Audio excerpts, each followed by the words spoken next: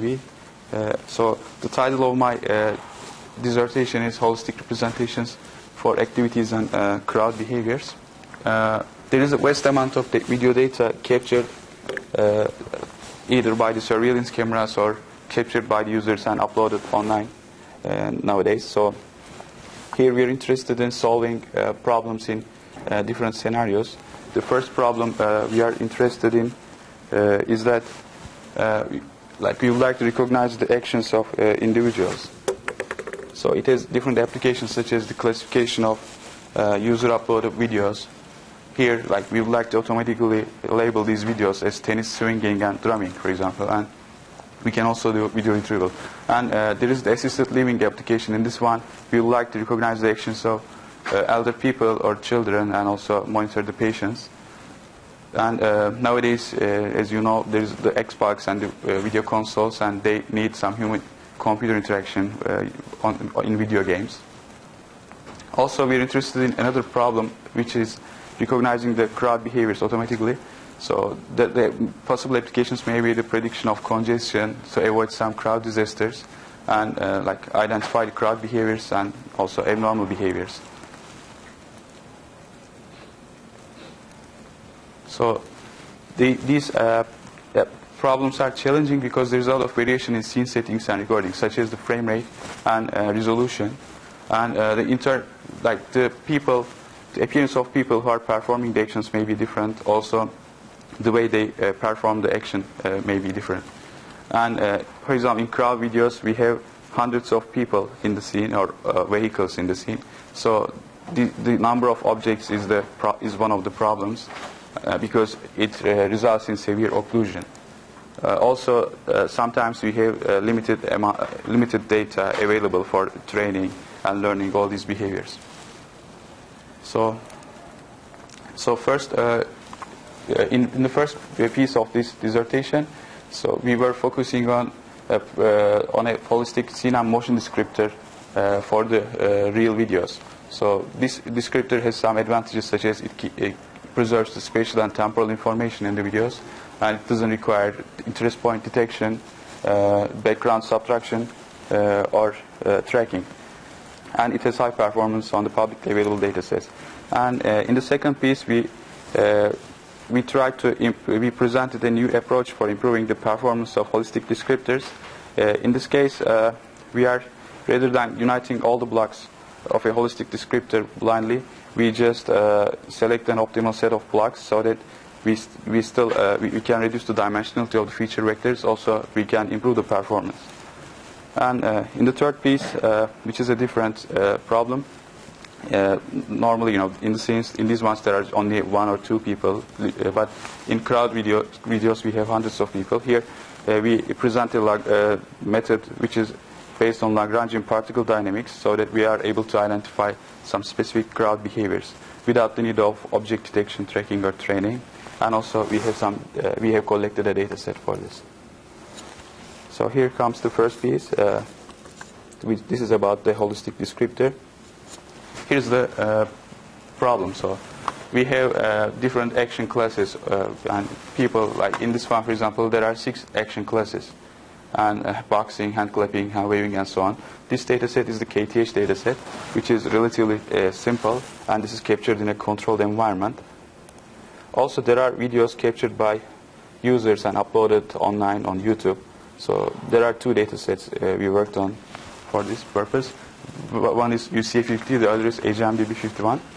In this one, you can see the videos are have uh, more variability, and this diversity makes this uh, problem more challenging. So here we have 50 action classes, and we have 51 action classes for HMDB51. You can see some samples here. The aim is to label each of them automatically. So there are some related work in uh, human action recognition. The popular approach is to uh, detect some local uh, spatial temporal interest points and compute descriptors around these points. And uh, the, uh, you may know there is the STIP, dollar SIFT, and 3D SIFT, which are some of the examples of these descriptors. These methods usually utilize the bag of features framework. So even though the descriptors are computed locally, they are combined in a global histogram. So they may lack the uh, important uh, geometrical or temporal information. Also, there are trajectory-based methods such as uh, MBH and the work of Wu. Uh, in these ones, they uh, need to uh, they uh, compute the trajectories in the foreground, so they neglect uh, context information which is present in the background. But it may be helpful. For example, if you have the horse riding action, when you see the outdoor scene, the grass and so, it may help uh, improving the performance of the classifier. The holistic descriptors have some advantages such that we don't need to uh, detect the interest points and they have a relatively simpler structure and they preserve the spatial and temporal relation. So why is this important? Like here's an example. This is a video like opening a window, opening window action. So if you don't know the temporal information, uh, so these two, the, the other is just the reverse of this video, which is closing the window. It's just uh, reversed in time. So these, if the uh, uh, if your method does not cannot uh, you know uh, capture the temporal information, then it will think these two actions are the same, but they are different actions. So our goal is to classify a large number of realistic actions uh, using the global information. One way to capture global information can be by using a frequency spectrum. For example, for the images, if you look at the frequency spectrum, uh, you can capture the structure and organization in the, in the scene uh, looking at some, uh, uh, some uh, frequency components. And uh, similarly for the video, uh, if you look, analyze the frequency spectrum, you may capture the motion and the uh, scene information. So uh, here's the uh, framework of our descriptor. Given a video clip of size m by m, and we have t number of frames, we stack them as a volume here. Then we compute the 3D uh, discrete Fourier transform so that we go to frequency spectrum. Here we do have a 3D filter bank, and for the first filter, uh, we, we apply the first filter on our on the frequency spectrum. Then we take the inverse tra- transform to go back to time domain. Here you will have the uh, volume which is the same size as the input volume. So we uh, we do some averaging in sub volumes, which are going to be the blocks, and we do the same for the other filters. Finally, we concatenate all these uh, vectors, and that's going to be the descriptor. But since it has high dimensionality, it's around, in this case, 35,000 dimensions. So we, we apply PCA for reducing dimensionality. Then we can train a, a support vector machine. When we have multiple clips, uh, let's say we have K clips of the video, we again do the same, but this time our descriptor is going to be even longer. Then we still reduce the dimensionality, then we can learn these behaviors, training a support vector machine. So in this slide, you, uh, I'll show how motion can be captured in frequency domain. Let's say we have a 2D, two-dimensional pattern here, which is going to be this one. Yeah, which is going to be uh, f0 xy, and it's translating on uh, the image plane with u1 and u2, like u1 in horizontal and u2 in vertical direction.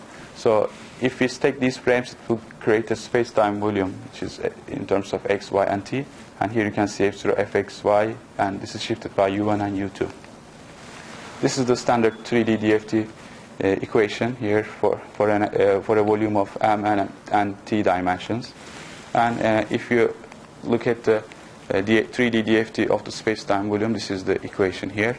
So we can just uh, organize the, arrange the terms so that we can take, split this into two, and also we can split the exponential here.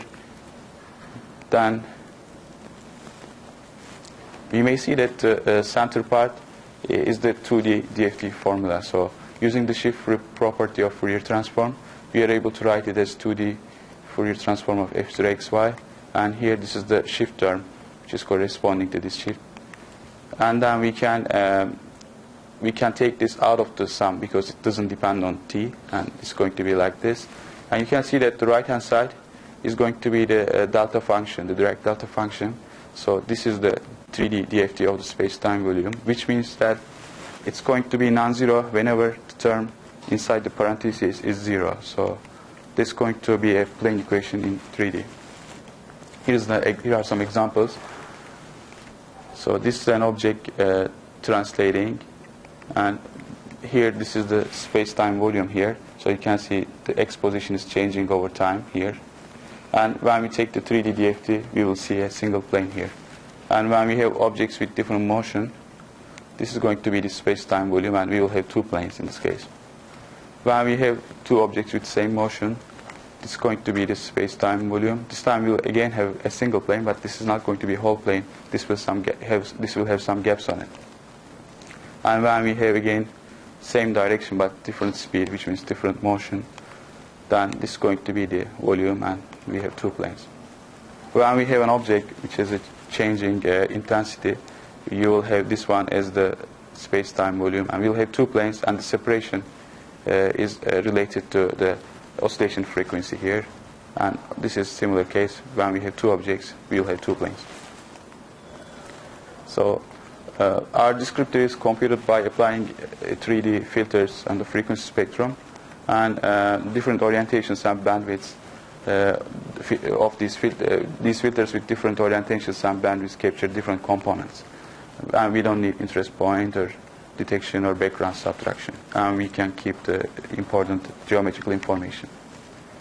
So here we have two scales of filters, 37 filter in the first scale and 31 filters in the second scale. This is the transfer function. So you can see that here FR is the central uh, frequency and sigma r, sigma theta, and sigma phi are the radial and angular bandwidths of these filters. In this animation you are seeing the filters in two scales. This is the scale 2. So it captures all the frequency spectrum. And here you may see all the filters uh, in the 3D uh, uh, frequency spectrum. Why did we keep the, this configuration? Because we did an experiment. So we collected 500 test videos uh, from UCF 50 dataset, and we computed the cumulative um, energy spectrum before applying any filters.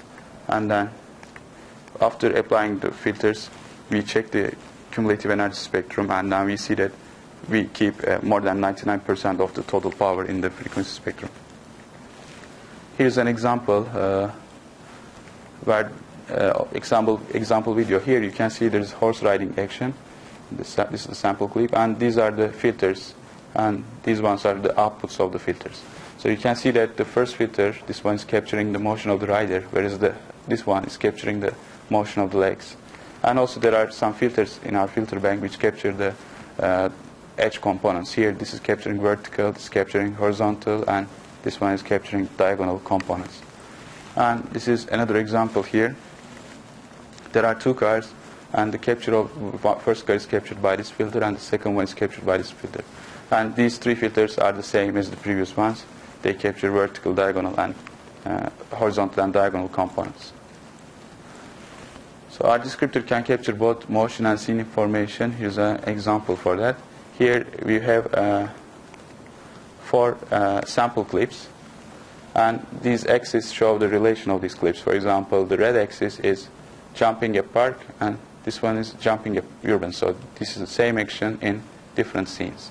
And the green axis shows different actions happening in the same scene. So this one, jumping and passing happening at park, and jumping and kicking happening at urban scene. And the blue axis shows the different action in different scene. Like jumping and passing are happening in different scenes, and jumping and kicking and are happening at different scenes. And uh, we extract computer descriptors uh, for these four test clips.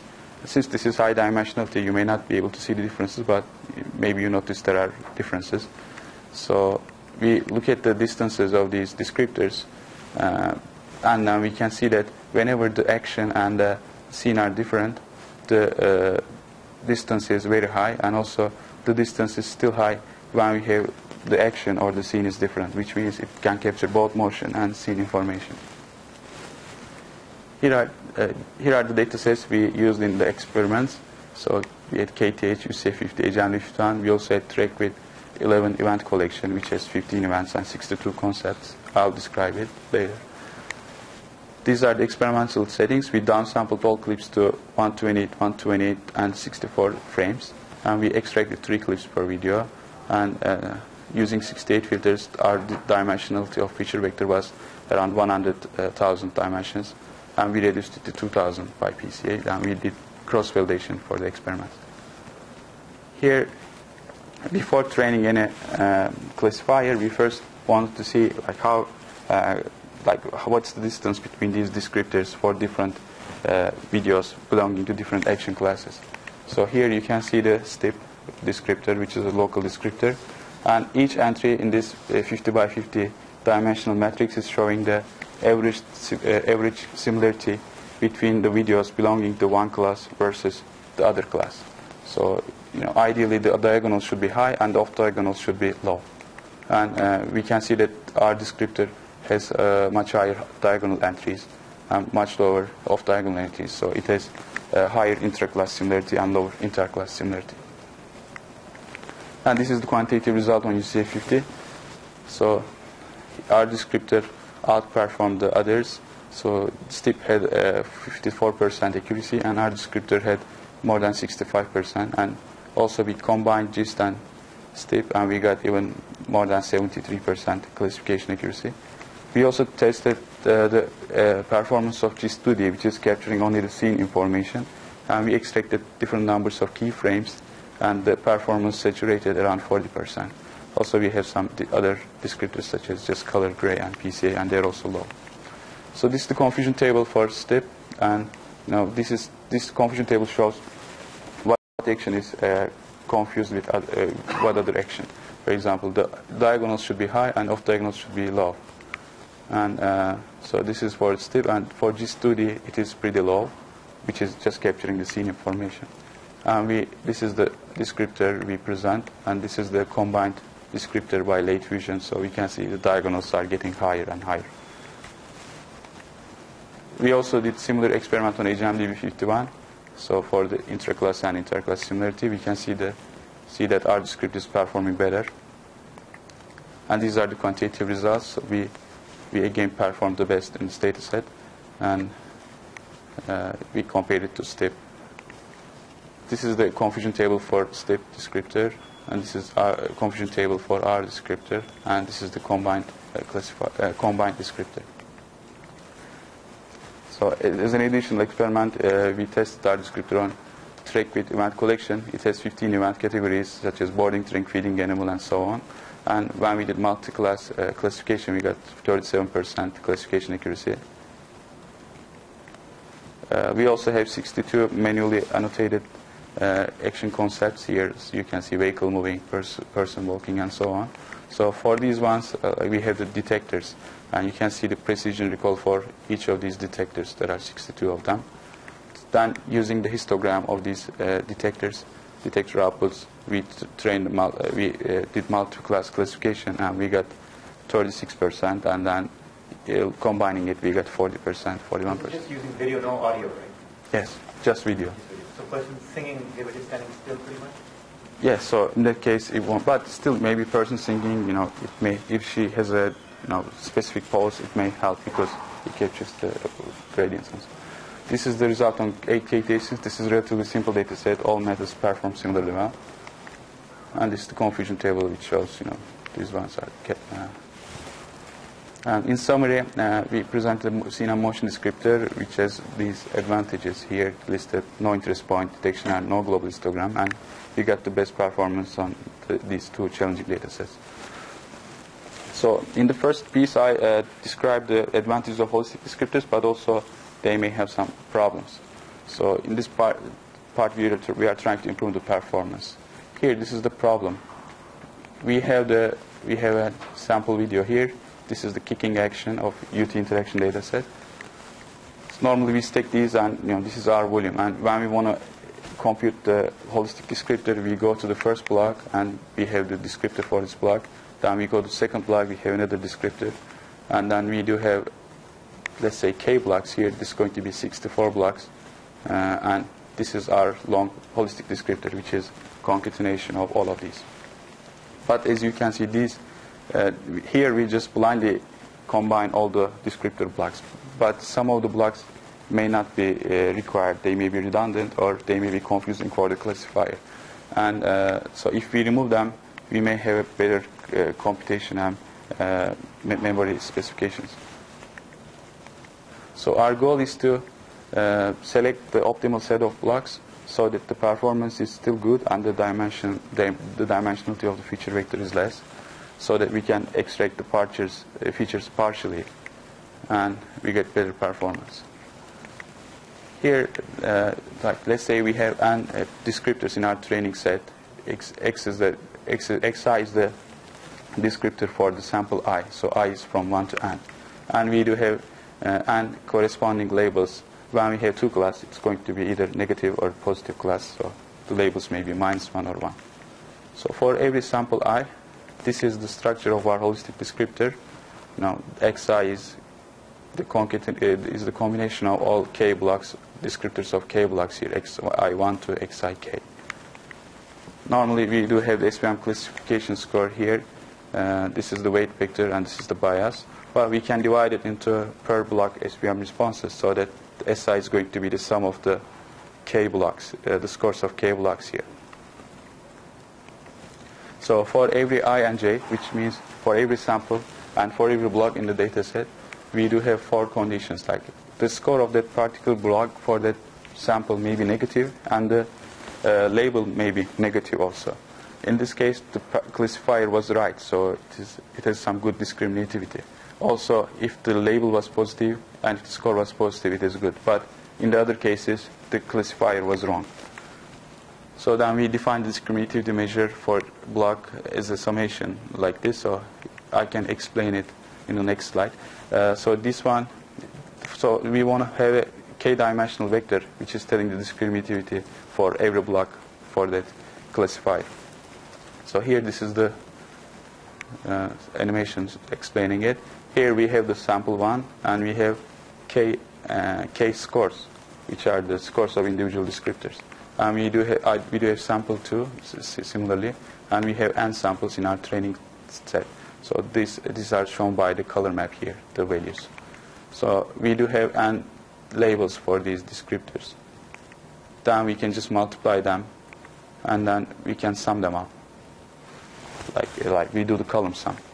Then that's going to give us the discriminativity for every block. So it's going to be a k-dimensional vector. So it was for the, uh, for the binary SVM, like we have two classes, but if we have multiple classes, let's say we have C classes, let's say we have C is 3, then we will have uh, three models which are going to be the SVM for class 1 versus class 2, class 2 versus class 3, and class 1 versus class 3, so which is given by this equation. And in this case, rather than having one uh, column vector for the discriminativity, we will have n columns for each of these models. And this D, rather than being a vector, it will be a matrix of size k blocks by n models. So normally the average discriminativity, we can define it as just uh, row sum. So that so this is going to be the discriminativity for block 1, block 2, and so on. But uh, this is the, the trivial solution could be that we pick the high values of this one and remove the low values. But there is even a better way for this. I'll explain in the following slides. We first uh, to do this trivial solution. So we have 1536 blocks for the GIST3D on KTH dataset. So we keep removing the confusing blocks here. And as we keep removing them, the performance is increasing up to a point where it starts rapidly uh, dropping. So we would like to pick a point around here, which is going to be the optimal point. And for the other two datasets, we did the same. So we saw that the performance is uh, increasing, also the dimensionality is uh, decreasing, which is good. So for this purpose, we define two things, uh, like another uh, term here, intraclass discriminativity. So normally we are able to remove some of the uh, rows here, uh, which are know, corresponding to confusing blocks. But let's say one of the entry is very important for that particular classifier, so we would like to uh, still uh, include it. That's why uh, we look at the column sum here, and it's going to tell us the per class discriminativity. So we have this measure here. So this is the sum before removing any of the blocks. So this is going to be an all ones vector. So we do sum all, all the way, and then we remove some of them, and then we sum this again. So these two uh, vectors should be you know close to each other. And then we also have the global discriminativity, which is the 2D sum of these vectors, and we still want it to be high. And we want uh, uh, we want this vector to be sparse. So this is the way we uh, use, uh, solve this minimization problem that way we get uh, we find which uh, blocks are the optimal set of blocks. Here, uh, this is the UT interaction data set, which has six action classes, kicking, handshaking, hugging, pushing, punching, and pointing. And they have 20 videos per each class, which makes 120 videos. So these are the these are all the blocks shown in the x-axis for this data set. And the red ones, uh, the uh, y- y-axis is showing the discriminativity for every block. So we pick only the, we select only the red red ones and we remove the green blocks. So this is going to correspond correspond to a 3D mask uh, for this data set. And these are the. So after masking those videos, you can see that the unimportant regions in the video are removed, and the regions of the video uh, where the, the actions are happening or the people are present are still uh, used for descriptive computation.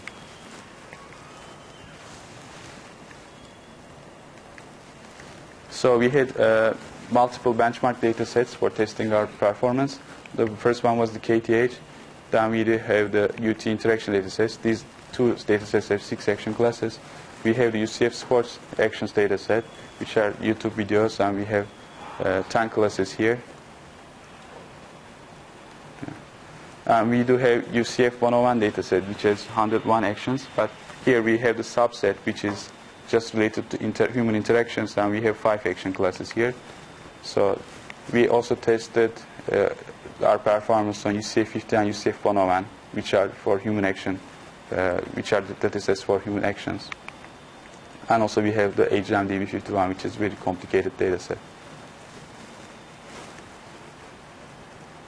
Yes.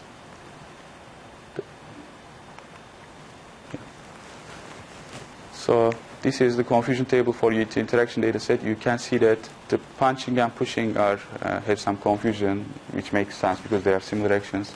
And also, you know, here kicking and punching have some confusion. And these are the results.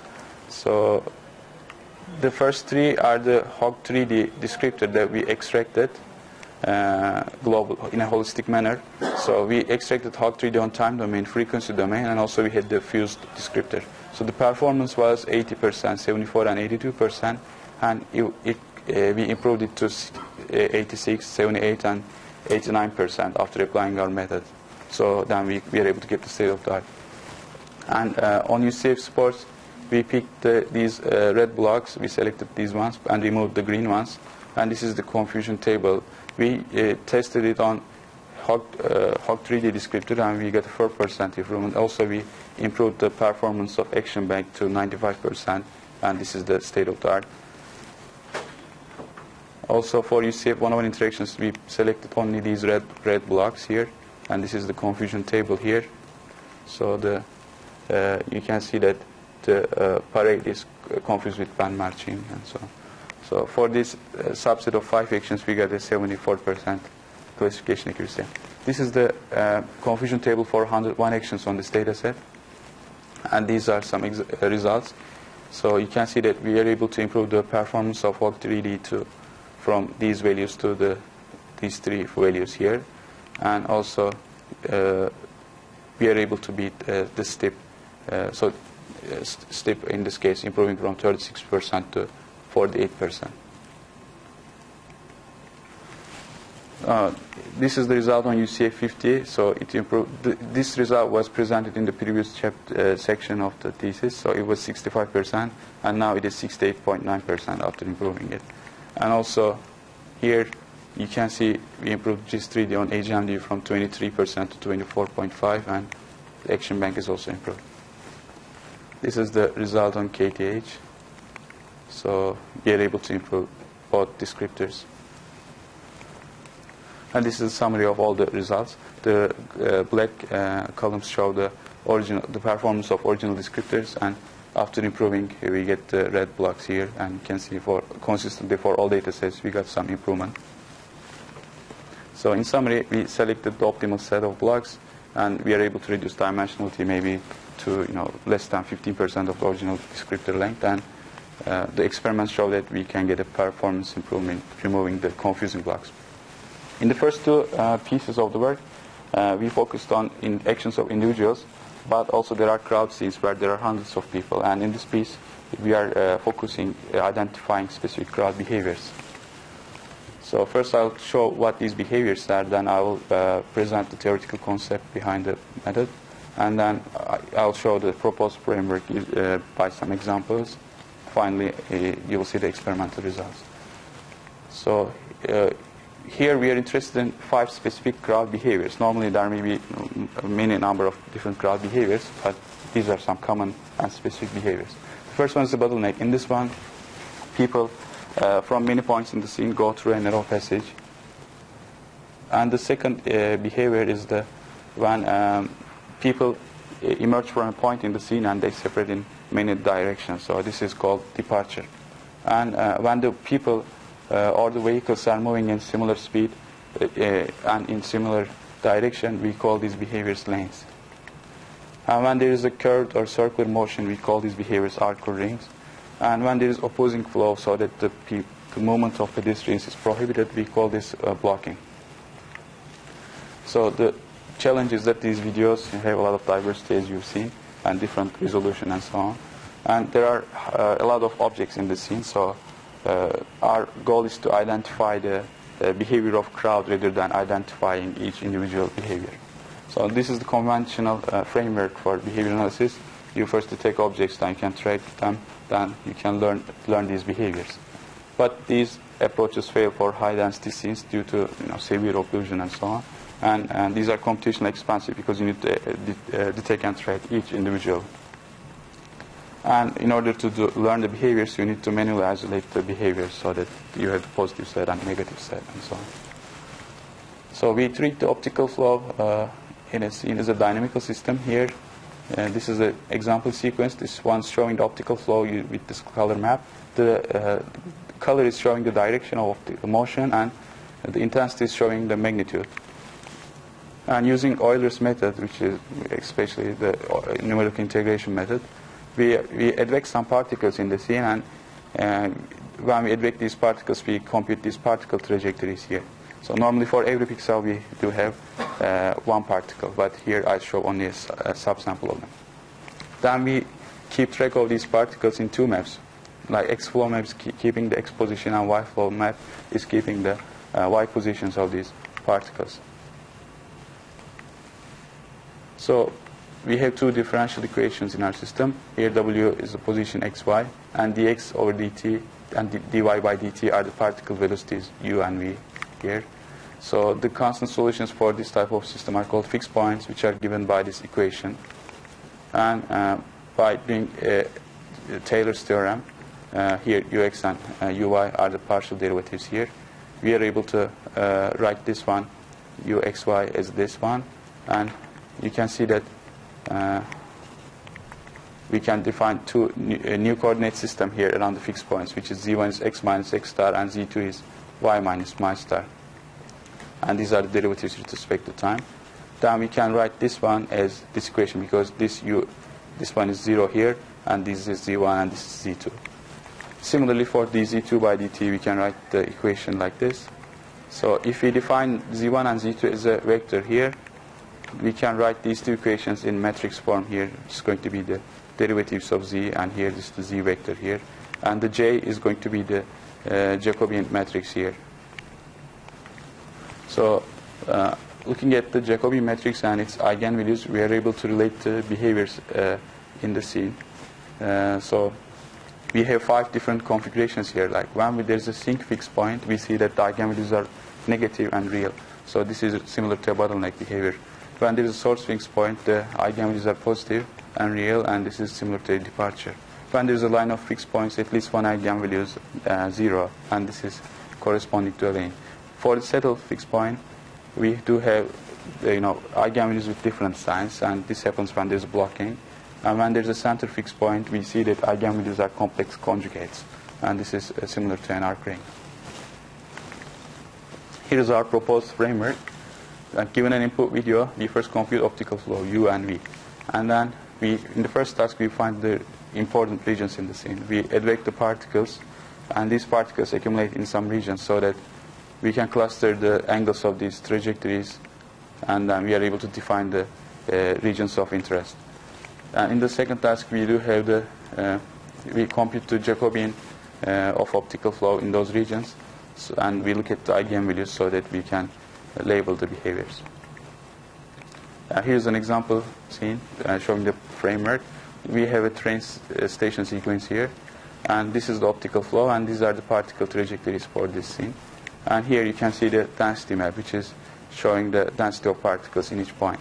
So you can see as time passes, the particles accumulate in some regions in the scene. And here, this is another se- uh, sequence. We do have a traffic scene, and some cars are turning here, and some are going straight. And uh, these are the particle trajectories uh, for this scene, and you can see this is the density map. So this is the density map for the first scene. We call this we find this accumulation point as the uh, cluster of local peaks. Uh, then these are the trajectories which are uh, on that point. So when we look at the angles of trajectories, this is the histogram. And for the other scene, we do have two points. Like for the first one, this is the histogram, and for the other one, this is the histogram. And when we see there is some high variance, uh, we check the point if there's a bottleneck or not. And when there's low variance, we check if there's going to be a lane or arc over there. Then we do have the average optical flow computed for the scene using this, co- this color map shows the flow. We look at the Ja- uh, Jacobi matrix and its eigenvalues, and we have color codes here. So when, uh, you know, for example, the eigenvalues are negative and real, this is going to be red, and, and so on. And when there's no motion, it's going to be black. So for the first scene, this is the uh, map we see. And for the second scene, these are the maps we see. You can see the, uh, this one is mainly red, and this one is somehow blue and green, and this one is cyan, magenta, and white. So then we test if you know how many of them are red, and he, here we can see if this is you know combination of white, cyan, magenta, or is a blue. That way we can uh, label the behavior. This one is blocking, sorry, is bottleneck, and this one is going to be a lane, and this is going to, this is going to be a lane, and this is going to be an arc. In order to detect departure, we just reverse the scene. So this is the same scene, but in reverse time. And these are the particle trajectories and the density map, so that as people, you know, go uh, with, the, with the flow, the particles accumulate in these two regions here, which are the gates. And then uh, these are the accumulation points, and we look at the particle trajectories and their angles on those points. So since we can we see there is high uh, uh, you know, there is high variance, we check those points if there is going to be a departure or not. Then we do have the same uh, eigenvalue map again with this color code. And we can see that for the first one, uh, it's composed of mostly yellow and this one is green and so on. So when we check the ra- this ratio test, we can see this one is the uh, departure and this one is a false positive, so we remove it. For detecting blocking, uh, like this is the example scene, like there is opposing motion here, and this is the optical flow. It's pretty noisy, and these are the particle trajectories for this scene. And as you can see, the density is increasing in the center part. Then we look at the accumulation point here, and we see there is opposing flow of uh, angles of trajectories. Then we can label uh, we can set, uh, label this point as a, a candidate for blocking. So in the rest of the video, we look if the, there's some vibration and if the you know movement is prohibited. So this is the optical flow and the average optical flow. Then we can see that the map around this region is green, which satisfies this condition, and then we label it as a blocking behavior.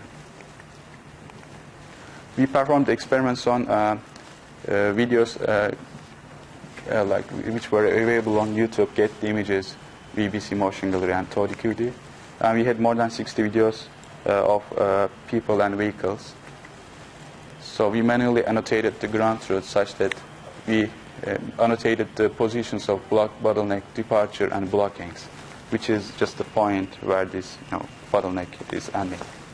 And for the lanes and arcs, we manually uh, annotated the paths of these things. And uh, in order to evaluate, we required that the detected point for bottleneck, departure, and blocking should be close to the annotated point. And also for lanes and arcs, we require that uh, uh, overlap should be high uh, to the with uh, annotated uh, pad. Here you can see some, I'll show some example sequences and these uh, symbols are showing different behaviors. So bottleneck, fountainhead and so on.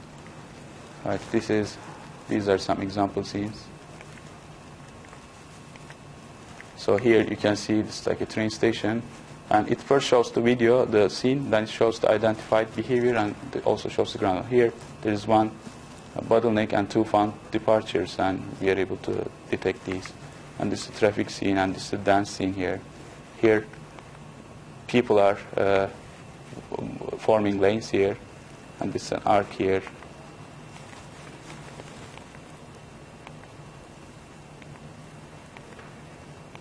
So here this is the entrance of an highway. Here there's an escalator. There is a bottleneck and departures. And here there are lanes detected. This is ground truth. And uh, this is the de detected behavior. And this is detected behavior for the scene and so on. And here there's a bottleneck. So these were the identified behaviors for these scenes, and these were the uh, ground truth annotations. So these are the quantitative results. So the red columns show the number of detected behaviors for each of the uh, events and each of the behaviors, and the red one is showing the number of misbehaviors, and green is the, are the false positives, uh, false detections. So you can see the blues are very high, and these are the uh, RACtors for uh, four of these uh, behaviors. We didn't include blocking because we had just three videos for that, and this is showing the false positives versus detection rate. So in summary, uh, like we combine the low-level motion feature, which is you know which are the eigenvalues of Jacobi matrix, with the high-level information, which are which can be obtained by particle trajectories and the, and the density. And this method perform well in uh, crowd scenes without the need of training, detection, or tracking. But the problem is that this was an offline method, so we need to have all the scene, uh, the video of all the scene before processing it, and it needs some coherent flow. So if there's a change in the flow, then it may be a problem. So these are the publications uh, uh, in, I did do, during my PhD here, and uh, here are some future directions. Like for example, for selecting the optimal set of blocks in the second piece, we just did experiments and using like fixed number of blocks, as in this case, like 64 blocks and so on. But we could also test the, the blocks in different uh, scales. For example, maybe one of the blocks here is not is confusing at this scale, but if you divide it into smaller ones, it may be important. Or in vice versa, like if let's say some block here is not discriminative enough, but if you combine it and get a you know uh, create a larger block, it may be helpful. So uh, one can analyze what's the effect of this and you know how to select these blocks. And we analyzed the crowd behaviors, we identified them, but we didn't uh, study the transition between the crowd behaviors. Here, for example, there was like a blocking, and then suddenly a lane and the bottleneck appears here. And here, uh, there is the bike, there are the bikers, and this is a lane, and suddenly an accident happens, and all the bike, uh, all the uh, racers stop. So this is going to be, a con- this, there's a congestion area here. So these type of behaviors can be studied. Also, the crowd behaviors may be uh, learned using some descriptors, but the, for that you need, we need to have more data, so we have limited data now. Another problem could be that we analyze the behaviors of individuals and crowds, but there's also group behavior analysis. For example, for this musical event, uh, we could study uh, like you know grouping these different people. For example, the people, people playing the violin, people playing the bass, or you know flute or piano. So this could be done. So these are the references uh, for this presentation, and thank you for your attention.